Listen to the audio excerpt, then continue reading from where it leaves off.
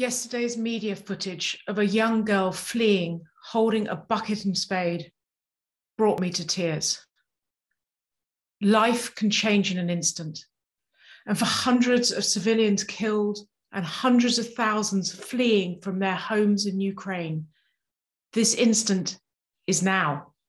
And the devastating effects will last a lifetime. Needs are changing hourly. World Vision is working relentlessly responding and adapting to ensure that we're providing urgent support to the women and children arriving in Romania, Moldova, and Georgia. Separated from their fathers, and in some cases, traveling alone, children are incredibly vulnerable to psychological and protection issues. We are on the border in Romania right now, distributing emergency aid packages and are working with our partners to respond to the huge wave of people entering Moldova. We will provide psychological first aid, education continuity, and ensure other emergency needs are met. The global community is mobilizing, and we do not need to feel hopeless and helpless.